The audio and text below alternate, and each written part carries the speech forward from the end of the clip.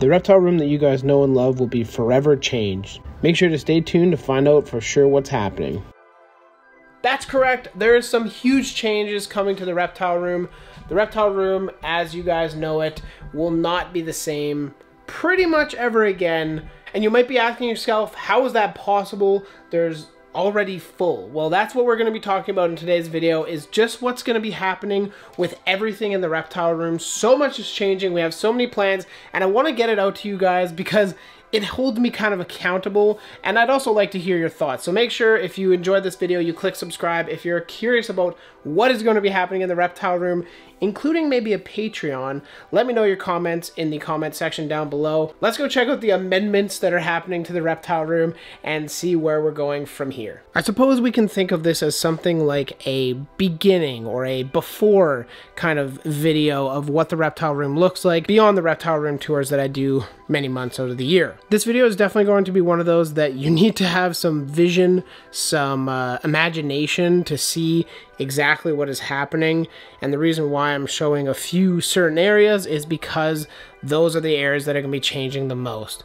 First, we'll start back here. Now, this corner is definitely nothing special. It is a very basic plant rack that really isn't even set up all that optimally. How we are changing that is I got another greenhouse or a grow tent to fit several bins worth of plants in there. I will still have a couple plant bins. The majority of them will be moving into the greenhouse. I have that already. I just need to set it up and get this corner clear. That is the first change that is happening. And then what's going in, we haven't decided quite yet if it's going on the back wall or the wall that this rack is on, but we are getting a custom rack to fit all of our adult colubrids. When I say colubrids, that includes everything that we have currently and allows some space for some grow outs from this year's productions, but we have Saguaro, my very first snake ever, and the Lampropeltis pyromelana. Eventually we will be adding the Lampropeltis alterna to it when they're of size. That also includes our adult hognoses, like our champion breeder male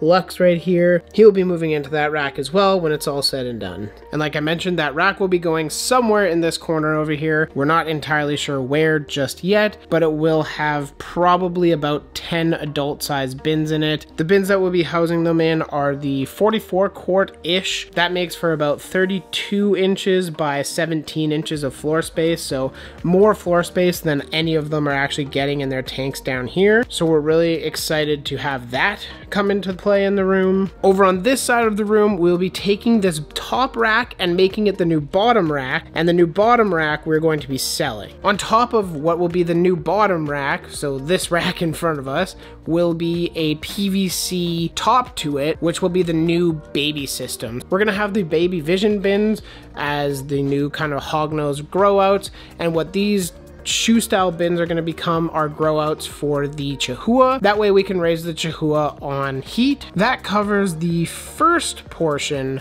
of the kind of upgrades that are happening. Of course, we can talk about Mr. Iggy himself, but he, as you guys already know, if you haven't seen the video, we made him a brand spanking new 48 by 28 by 48 inch tall tank. As you can see, it's going through a bit of a fungus gnat problem, but it is growing in. It's been about a month since we first planted it, and you can see those are all new growths.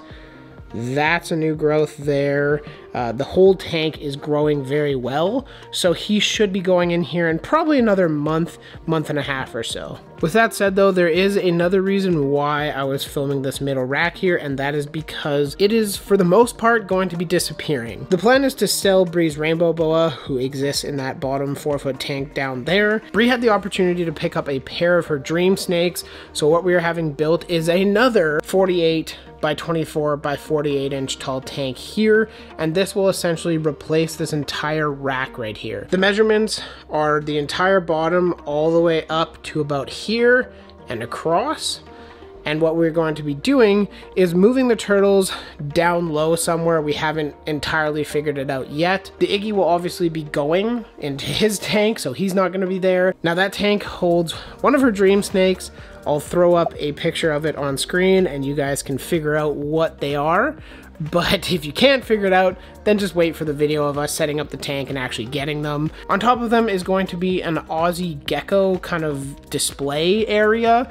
We have a PVC tank that is again 48 by 24 by 12 inches tall with five different dividers in them as I, I, would show you guys, but it's outside and it's not in a filmable condition at the moment. Now, as I mentioned, we will be putting all the Aussie geckos that we have in there. That includes these, the Diplodactylus galeatus.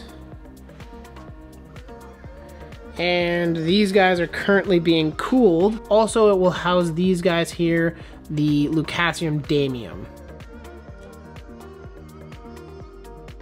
We are very excited to get the new Aussie PVC display set up. It probably won't happen for a while because there's so many things that have to happen first, like selling animals, building tanks, all that kind of stuff. So it won't happen for several months, but these are just the plans that are in store. And speaking of plants that are in store, I mentioned in the reptile room tour, so I'm not going to spend too much time on it, but this beautiful display tank will be no more. And all I mean by no more is that it will not be set up like this anymore. Right now it's just kind of a cluttered jungle of random plants that I had sitting around. Other plants I put in there like this beautiful anthurium, and it's going to be turning into a breeding tank for the Cruziohyla craspedopus. If you guys have seen my videos, you guys have probably heard me mention these. These are the fringed leaf frogs or the Cruziohyla craspedopus. They're a canopy tree frog that likes to lay their eggs inside of like stumps and hollows in trees. So what my plan is, is to build out of zoopoxy, foam, whatever I can, a giant stump in this tank. So I want it to be kind of lush and maybe unnatural otherwise, but I want to build a giant stump basically occupying that whole back corner and it'll have a deep pocket in the middle for water. So I think that would look really cool. I'm gonna try and pull it off. Again, this is probably months down the road, but that is my vision as of right now. I haven't decided whether I'm going to do like a paludarium style bottom, but I am planning on doing a rain system up top. So it should be really cool. I'm very excited to get this going and uh, that'll be happening in the next couple months. Whew, we're already at a lot of different things happening in the reptile room, but there is more. Let me know what your favorite project is thus far in the plans for 2022, I suppose. I don't know if I mentioned it at the beginning of the video, but I feel like it is important to state that these are not short-term goals. These are goals that are happening and kind of unraveling over several months.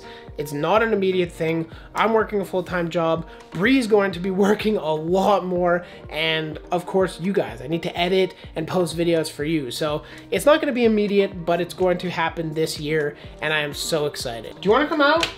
You've been scratching the whole time I've been filming. The whole time. Come on. Nope. this way. Oh, whoa. Dude, what are you doing? Here, go up here. Go up on your favorite tank. There. Now we can get back to showing you guys some updates. As you guys saw in the beginning, I teased this rack a lot, and I actually did mention it in the reptile room tour, so if you watch that, you'll kind of have a bit of a spoiler, but if not, we're going to be talking about this rack first and leaving the best for last. Now, I believe I mentioned these both in the Reptile Room tour as well, but I feel like I should reiterate it here because this is kind of a catch-all for what's happening. Now, the Thai Bamboo Rat Snake Cardinal, who is just poking her head out there looking for food, is happily moving into a larger setup. We have the background in, we're just working on the hardscape and actually getting it all put together, but it is a much much larger enclosure. It's about a 70 gallon tank I, I don't have the exact gallonages, and we're very excited to give her an upgrade that she needs and definitely deserves. Because she is an Asiatic rat snake, she does need a good cool enclosure so she will be going on here because there won't be plant bins and we will be selling striker's enclosure but that's a whole nother video so yes that does mean cardinal will be getting the upgrade she deserves i can't wait to see her in a nice big vivarium that uh, allows her to stretch out and be the active little snake that she is. And I know I 100% mentioned, so I'll keep it brief, that we'll be building Sheldon a pen that spans the entire bottom of this rack. So he'll have about twice as much space as he has currently, because we all know and love Mr. Shell. He is the loves of our lives.